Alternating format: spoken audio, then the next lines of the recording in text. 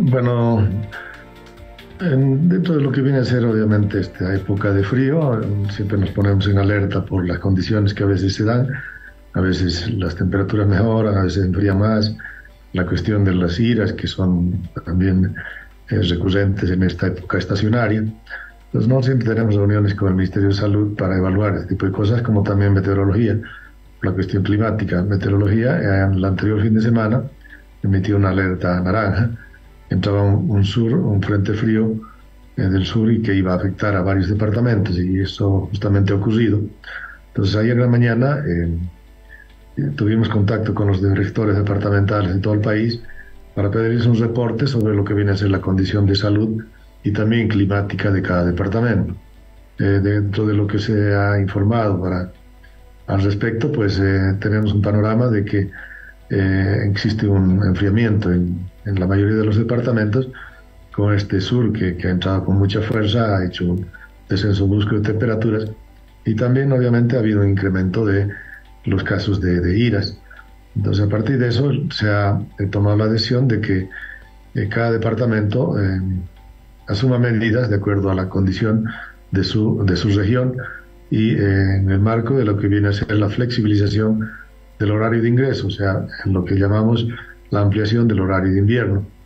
Esto eh, permite a que eh, cada departamento tome la medida en cuanto a sea flexibilizar por un tiempo, por un tiempo eh, más el ingreso de los estudiantes en la mañana y los que tenemos tienen doble turno, pues también en la hora de la salida, porque mayormente la, etapa más crítica es justamente en horas de la mañana y en horas de la tarde. En muchas de las partes, en, durante el día puede haber un espacio de sol eso mejora la condición del tiempo, pero eh, obviamente que en estas condiciones con el sur, la situación en la parte de, Tarija, de Chuquisaca, Potosí, pues es, es complicada al momento. Una nevada en Tarija que pocas veces se da ¿no? en la ciudad.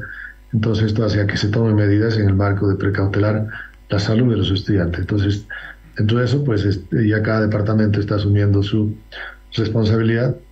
El caso, por ejemplo, de Oruro, que ya ha tomado una medida que está ejecutándose lo propio ha hecho Potosí, eh, Chuquisaca, Tarija, y, seguramente que La Paz también ya emitirá eh, pronunciamiento al respecto dentro de las próximas horas. Reitero que esto va en la línea de eh, precautelar la salud de los estudiantes. ¿no?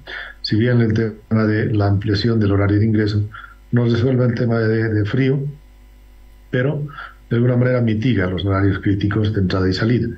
En ello siempre recomendamos que eh, los chicos eh, no es obligatorio la cuestión de el uniforme escolar, que vengan abrigados a la, la educativa, a las clases, de que usen también lo que significa el barbijo y que también se, se puedan vacunar para prever eh, lo que viene a ser este tipo de enfermedades estacionarias. Me parece súper interesante la información y obviamente los cuidados que ustedes están teniendo con los estudiantes. Ahora, en el marco general hemos hablado del tema de los minutos de ingreso, 15 minutos en la ampliación, pero ya en detalle también se habla sobre, por ejemplo, los muchachos que llegan retrasados al colegio no deben ser retenidos, ¿no es cierto, viceministro? Bueno, la flexibilización tiene esa finalidad, ¿verdad? Que los chicos no, no lleguen a destiempo, ya cuando hay el horario de entrada.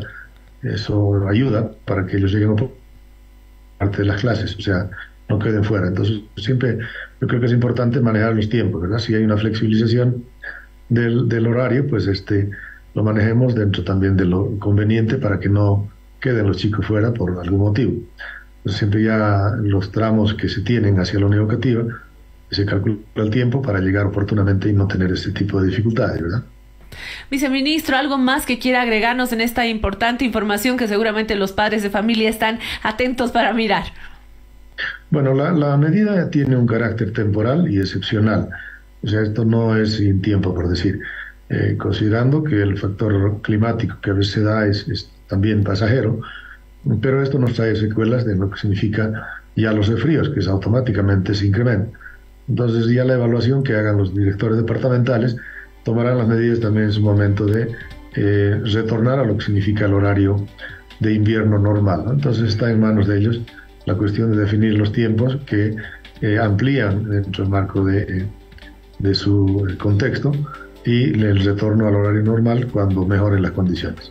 Nuevamente reiteremos cuando comienzan las vacaciones. Eh, importante ha sido, creo, la determinación de ustedes de no adelantarlas, sino tratar de mantener todo este esquema que se sigue con eh, la agenda y, los cronogramas de, escolares. Eh, sí, lo del descanso pedagógico se mantiene al 3 de, 3 de julio y obviamente ya el cumplimiento de lo que significa el calendario, ¿verdad? Estas medidas conllevan a justamente mitigar ese tipo de cosas para que eh, precautelemos salud. Por otro lado, no movamos lo que está ya como calendario para eh, hacer de que esta gestión sea bien aprovechada por los estudiantes. Le agradezco, viceministro, que tenga una muy buena jornada. Gracias por empezar su día con nosotros. Muchas gracias a ustedes. Un saludo.